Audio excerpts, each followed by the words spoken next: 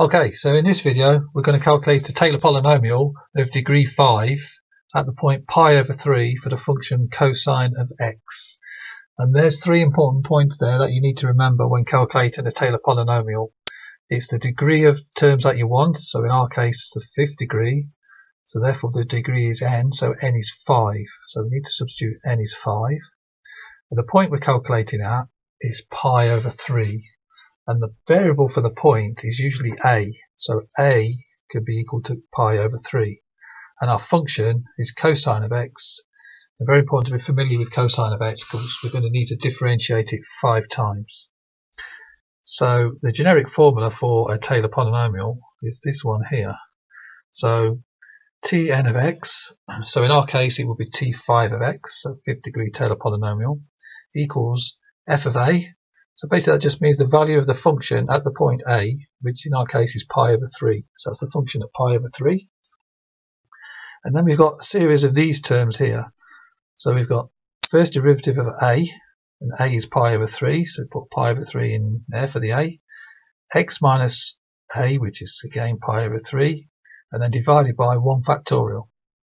Second term, you can see here, we've got the second derivative at a, which is pi over 3, x minus pi over 3 squared this time, and then divided by 2 factorial. And then the next one, you see we've got the third derivative divided by 3 factorial, and then x minus a cubed. So there's a pattern forming here where we've got the 3, the 3, and the 3, 4, 4, and 4, 2, 2, and 2, and so on. So I've done one here for a generic uh, part of the series. The nth derivative divided by n factorial, x minus a to the power of n. So there we can just substitute our 5s for n, because that's the last term we're going to use.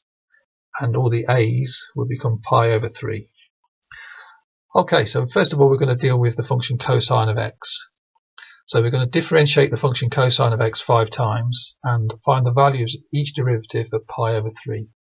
Pi over 3, you may also, if you don't want to know the radians, you might prefer the degrees, in which case it's 60 degrees.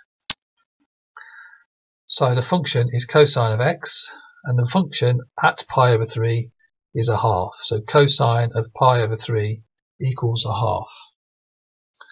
So that takes care of that first value. So now we've got the first derivative.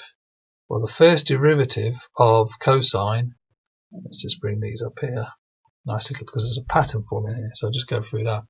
So the first derivative of cosine is minus sine a minus sine of pi over 3 is minus root 3 over 2.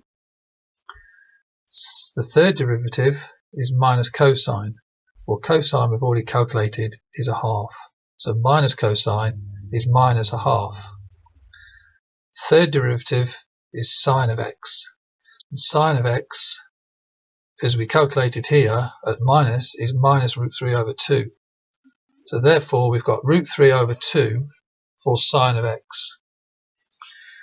Then the fifth, the fourth derivative is the derivative of sine, which is cosine, and then the cosine value we already calculated at the beginning, which is a half.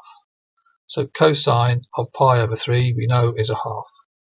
And the fifth derivative is minus sine over x, and the fifth derivative we see is the same as the first derivative, which is minus sine. So therefore it's the same value as well, so that's minus root 3 over 2.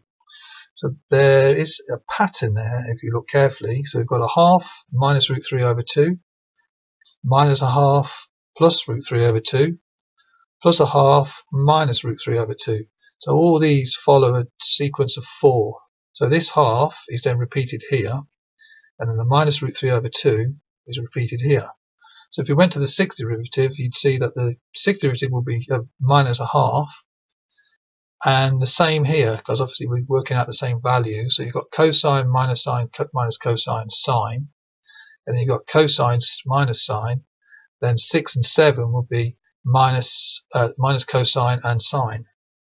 So that's the pattern there. So next stage what we're going to do is we're going to substitute pi over 3 for all the a values into our formula. So, so the fifth degree Taylor polynomial so basically what we've done here is just put pi over 3 where all the a's were. So we've got f of pi over 3 plus first derivative of pi over 3 x minus pi over 3 and so on and so on and so on. So it's good to do this one step at a time because then you can break it down without making any silly mistakes. And it's very easy to do that when trying to do too much on a Taylor polynomial in one go. So you see here, fifth degree, uh, the fifth um, derivative to pi over 3. We've calculated here, so all you can do is take that away and put a minus root 3 over 2 divided by 5 factorial. Same for the fourth one, a half. So you're just going to put a half in where this one was. So the next thing as well to think of is the factorials. Now the factorials, 5 factorial is 1 times 2 times 3 times 4 times 5, which is 120. 4 factorial is 1 times 2 times 3 times 4, which is 24. And 3 is 6, and 2 factorial is 2, 1 factorial is 1. So next we're going to substitute the derivatives and the factorials into the function and see what we end up with there. So the value at pi over 3 we calculated was a half. So just show you where that was. So that's here, that's a half. So that then goes in at the first term. Now the first derivative, go back to where we calculated it, was minus root 3 over 2. So then we put minus root 3 over 2 and then multiply it by 1 factorial which is 1 the x minus pi over 3 just stays as it is. There's no need to multiply any of these out. We just stay like that. Then the second derivative we calculated was minus a half. That's there. So then back to our uh, formula. So minus a half, there it goes. It's sitting in there nicely. And multiply the denominator by 2 because that's 2 factorial. Then x minus pi over 3 squared. The third derivative is root 3 over 2. There's the root 3 over 2 gone there and that multiplies by 6 because that was 3 factorial. Again, the x minus pi over 3 cubed just stays in there. The fourth derivative was a half. So the fourth derivative, let's go back here, here we are. There's the half, and there's the 4 factorial. So a half times 24, x minus pi over 3, power of 4. And then the fifth derivative was minus root 3 over 2. There's the minus root 3 over 2, and there's the 120, which is the 5 factorial. And again, the x minus pi over 3 to the 5 just stays. So we can simplify this up a little bit more. And then we can see here the half will stay. There's nothing to simplify out on that. The minus can change that plus sign to the minus. So that's why we've got the minus there. The root 3 can be then on the top on its own. With then the x minus pi over 3 we can bring to the numerator and then the denominator is 2 times 1 which is 2 so that's how we get to this one here the next term we've got again the minus sign can just flip the plus sign the denominator is 2 times 2 which is 4 and we can bring this x minus pi over 3 squared onto the top and then we'd have 1 times this here x minus pi over 3 squared which is just x minus pi over 3 squared so then we would end up with this one which is minus x minus pi over 3 squared over 4 the next term we've got is root 3 divided by 12.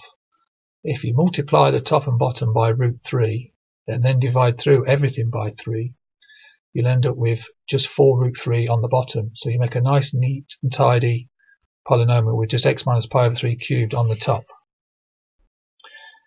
Then the next one, we've got 1 over 2 times 24.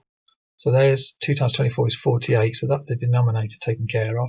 And in the numerator, I've just brought this x minus pi over 3 to the 4 to the top, to the numerator, and there it is.